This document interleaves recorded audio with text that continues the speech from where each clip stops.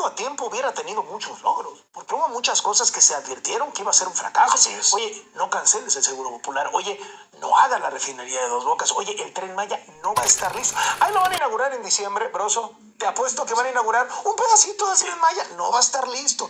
Sí, y, y una enorme cantidad de cosas que la gente le dijo, esto no va a ser, esto no va a funcionar, esto va a fracasar, esto es una mala idea, esto va a dejar a la gente más pobre, esto va a dejarnos sin medicinas, esto va a dejar a 15 millones sin servicios de salud. Y él, necio, necio, necio, necio. Si hubiera sido capaz, órale, lo voy a intentar. Cuando veía que estaba fracasando, rectificar, estaríamos en otro escenario. Claro, pero, Estaríamos en pero, otro escenario. pero si, si podemos llegar a ser hasta, viendo todo esto, hasta pragmáticos y viendo la- con las condiciones del presidente, y olvídate de los partidos, como ciudadanos, los ciudadanos tendrían que decir, mira, por lo pronto esto se va a poner de la chingada, pero por lo pronto, adiós al Congreso, ¿eh? O sea, el Congreso no se lo puedes dejar. Hablando de cosas pragmáticas. Del 24 dices. Claro.